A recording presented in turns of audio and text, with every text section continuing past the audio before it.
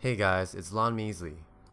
In this video, I'm gonna go over 9 different ways to make gold and relive your nostalgia of Draenor. Even though some of these gold making methods may not be the most time efficient, I personally like having some fun by adding variety into my gold making. First, we have Tanaan Jungle Toy Drops. On the easternmost side of Tanaan Jungle, there are three named elites that you can kill once a day, which have a pretty high chance of dropping one toy each. These toys are not soulbound, so you can actually sell them on the auction house.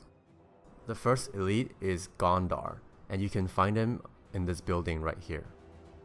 These bosses also drop garrison resources, which you can cash in at the trading post if you have one. The next elite is Smashum Grabb, and you can find him at this altar right here.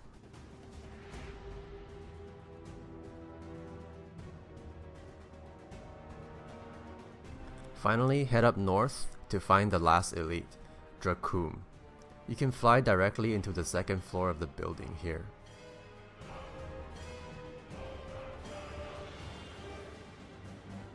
The three toys that these guys drop are these Crashin Thrashin toys that when used spawns like a mini tank or something that you can battle other players with. Again, you can learn them yourself or you can sell them on the auction house for some pretty nice profits. Now for the second method, I'm going to talk about these other elites that you can find in Tanaan Jungle. Every half an hour to an hour or so, one of these bosses will spawn, and they will be clearly marked on your map. The four bosses are Vengeance, Doomroller,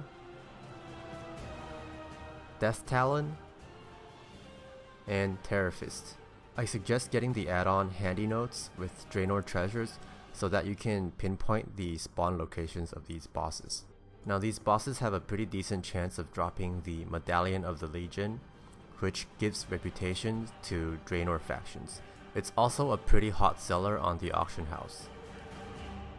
The bosses also all have a chance of dropping one of three mounts. The drop rate is pretty high, but you can't sell these on the auction house. Also, you can get duplicate mount drops, so it may take a while to collect all three. The three mounts are the Warsong Direfang, Tundra Icehoof, and Armored Razorback. For method number 3, we have Fang'rila. It's like a mini paradise for these cat people, who you can kill for their claws. You can find Fang'rila on the southeastern side of Tanaan Jungle.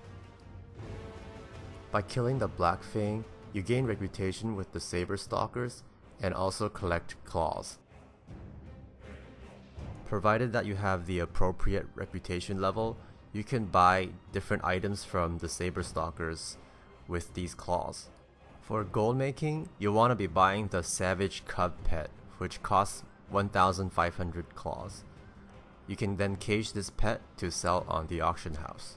To gain reputation quickly, you can pick up the challenge totems to do the weekly quest. At number 4, we have the Tanaan Jungle Elite Pets. These are tough pet battles that are scattered throughout Tanaan Jungle. For each one you defeat, you will get a satchel that has a chance of containing valuable pets. Now these fights are not easy. For each of these battles, you'll be pitted against three pets, with the first one being the boss and the other two as random fillers. The Anubisath idol is a strong pet that can be used to finish off the two random pets. The Nexus Whelpling is excellent for fighting against flying pets. And finally, the Zandalari Ankle Render has the potential to single-handedly defeat most of the bosses. Asmongold has done a guide a long time ago on how to defeat each of these bosses. The link will be in the description below.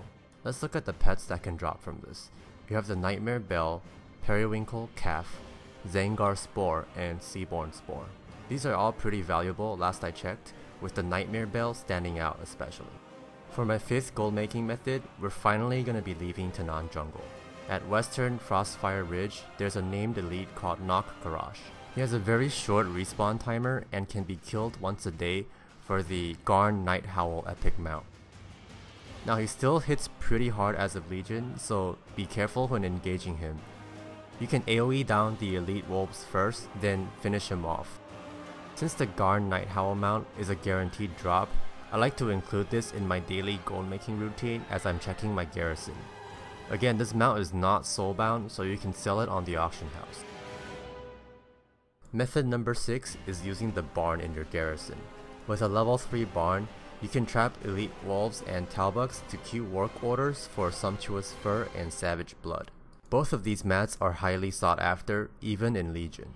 Sumptuous fur is used to craft hexweave bags, which are still the biggest craftable bags. Savage blood can be traded in at the trading posts for about 50 gold each. They are also used in the Draenor Tome of Illusions crafted by enchanters. What I like to do as Horde is to farm the elite wolves while I'm killing Nok-Garash. Now you don't actually have to kill the wolves, instead you use the deadly iron trap provided by the barn to trap them at around half health. For the Alliance, you can farm Talbuks in Shadowmoon Valley, or you can farm the Elite Wolves in Nagrand.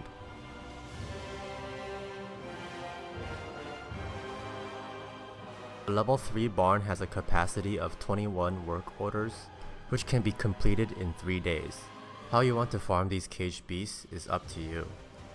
I prefer farming up 20 or so cages every 3 days, while some people like farming up a whole bunch of cages then just coming back to refresh their work orders.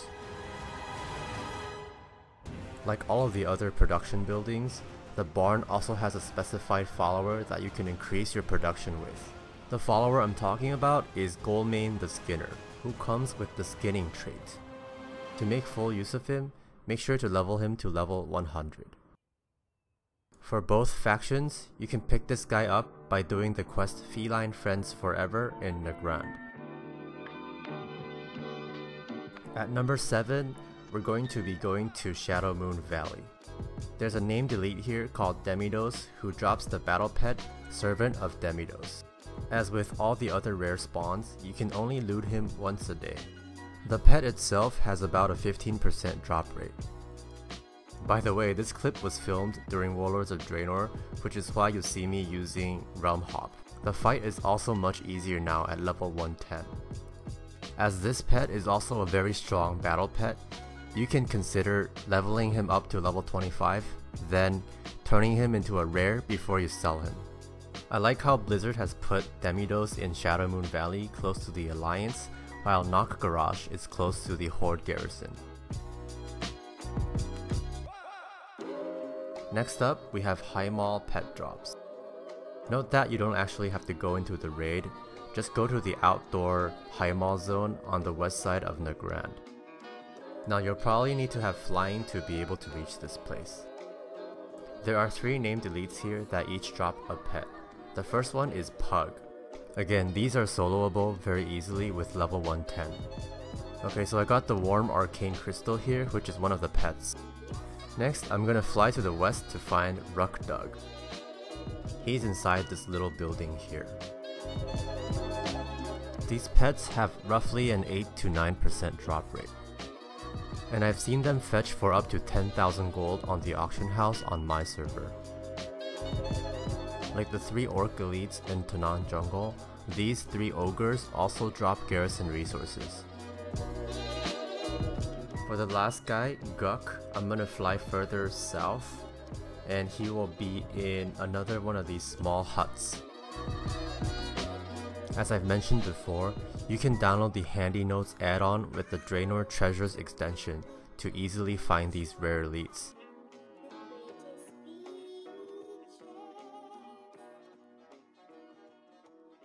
Now my ninth and last gold making method here is none other than the garrison. A level 3 garrison can be extremely lucrative and with some proper setup can become a relatively passive way to make gold. The main gist behind this is to collect garrison resources that you can trade in at the trading post for crafting materials, which you can then turn into other stuff such as hexweave bags. I've also done a very comprehensive guide on the garrison, so check it out if you're interested. You can do so by clicking on the link right here. And that was 9 fun ways of making gold on Draenor. Feel free to comment below if you have any other methods and ideas to share.